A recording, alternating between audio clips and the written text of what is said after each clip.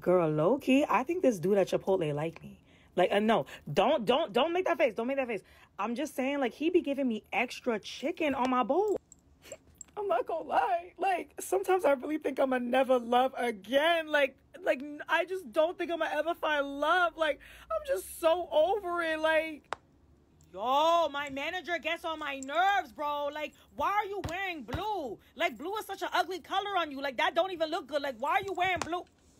Okay, so I'm not sure if you can hear me or not because I'm in the library, but let tell me how this cute boy literally walked by my table as I was studying.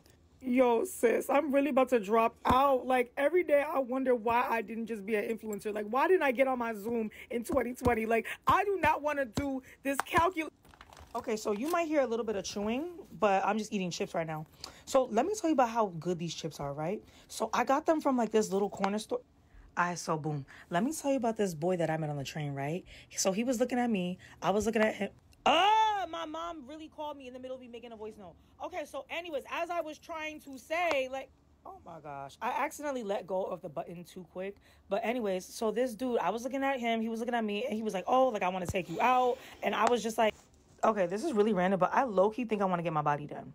Oh yeah. Also, I'm watching Love Is Blind right now. Like I, I'm, so, I'm not trying to spoil it for you. I'm not trying to spoil it. But that dude Uche, like, oh my gosh, like he girl, just... I can't.